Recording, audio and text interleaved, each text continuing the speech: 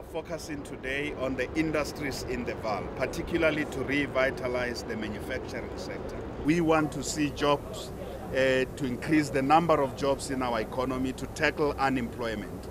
Uh, but secondly, we also want to increase uh, output, particularly to grow the manufacturing sector, because manufacturing has uh, that unique contribution to the economy. It has bigger multiplier effects. Uh, this area of Gauteng, which is the Vaal, which is Sedibeng, which is the southern corridor, has huge manufacturing potential.